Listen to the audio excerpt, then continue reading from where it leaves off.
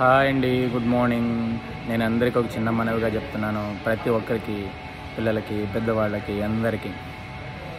మనం చనిపోయిన తర్వాత మనకు మిని మిగిలేది మనుషులతో గడిపిన జ్ఞాపకాలు మాత్రమే. మెమరీస్ అంటారు ఇంగ్లీష్లో. ఆ మెమరీస్ మాత్రమే మిగులుతాయి. కావున మన చుట్టూ వాళ్ళతో సంతోషంగా గడపండి హ్యాపీగా గడపండి నవ్వుతూ ఆల్వేజ్ పాజిటివ్ ఎనర్జీతో ఎప్పుడూ కూడా మీ ఫేస్ ఎదుటి వాళ్ళకి నవ్వుతూనే కనపడాలి. ఒక పాజిటివ్ యాటిట్యూడ్ పాజిటివ్ ఎనర్జీ మన చుట్టూ ఉన్న వాళ్ళు ఎవరైనా సరే. మన కార్ డ్రైవర్ అవ్వచ్చు మన ఇంట్లో పని వాళ్ళు అవ్వచ్చు మన ఫ్రెండ్స్ అవ్వచ్చు బంధువులు అవ్వచ్చు అమ్మ నాన్న మన కొలీగ్స్ అవ్వచ్చు మన సీనియర్స్ అవ్వచ్చు. ఎవరితో అయినా సరే బీ పాజిటివ్. Be positive. చిన్న చిన్నవన్నీ మనసులో పెట్టుకొని యాంగ్రీగా ఎప్పుడు చూడు అరే వాడు ఎప్పుడు కోపంతో రగిలిపోతున్నాడు రా వాడిని వాడిని కదిలించాలంటేనే తలకాయన పెందుకులేరా బాబు అని అనుకునేటట్లు ఉండకూడదు మన చుట్టూ ఉండేవాళ్ళు. ఏ ఒక్కరు కూడా మన గురించి అలా అనుకోకూడదు. అరే వీడు ఎంత పాజిటివ్ ఎనర్జీతో ఉంటాడు రా. వీడిని ఒక్కసారి పలకరిస్తే మనం ఎంత కష్టాల్లో ఉన్నా ఎంత బాధల్లో ఉన్నా అన్నీ మర్చిపోతాం రా అనుకునేటట్లు ఉండాలి మన యాటిట్యూడ్ ఎప్పుడు నవ్వుతూ ఉండండి సంతోషంగా ఉండండి హ్యాపీగా లైఫ్ని ఎంజాయ్ చేయండి ప్రతి మూమెంట్ని ఎంజాయ్ చేయండి.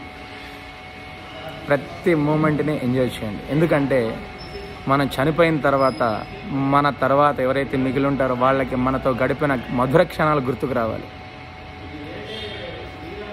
అందు గురించి నేను దాన్ని పచ్చబొట్టుగానే పొడిపించుకున్నా. Die with memories not dreams ఎవరైనా సరే చనిపోతున్నాము అంటే అరే నేను ఇంత మధుర క్షణాలు గడిపాను నా జీవితంలో. భగవంతుడు నాకు ఈ లైఫ్ ఇచ్చినందుకు సార్థకత చేశాను. నా చుట్టూ ఉన్న వాళ్ళందరికీ న్యాయం చేశాను.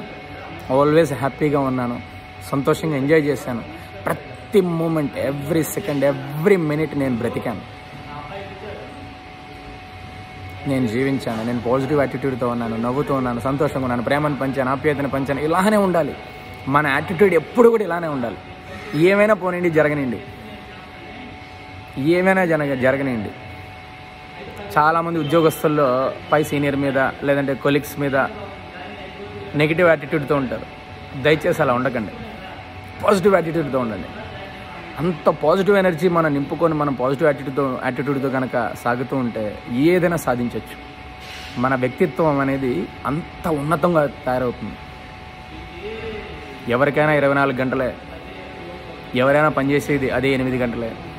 ఇంకొంతమంది వాళ్ళ వాళ్ళ వర్క్ స్ట్రెస్ కోసం కొంచెం ఎక్కువ గంటలు పనిచేస్తారు మ్యాక్సిమం టైం మ్యాక్సిమం టైం ఫ్రెండ్స్తో చిట్ చాట్ చేస్తూ భార్య పిల్లలతో హ్యాపీగా గడుపుతూ